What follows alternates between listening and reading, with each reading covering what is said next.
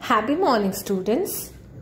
Today in English we are going to learn letter Z.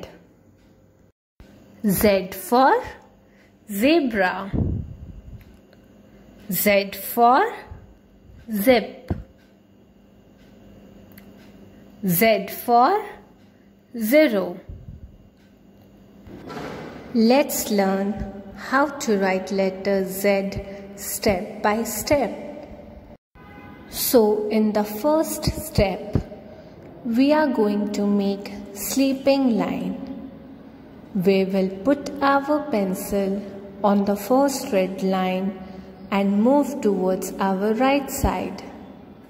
In the second step, we are going to draw slanting line. Without lifting pencil, move the pencil down towards our left and touch the third line which is blue in color. And now draw a sleeping line. Move the pencil towards right. So this is how we write letter Z. Thank you students.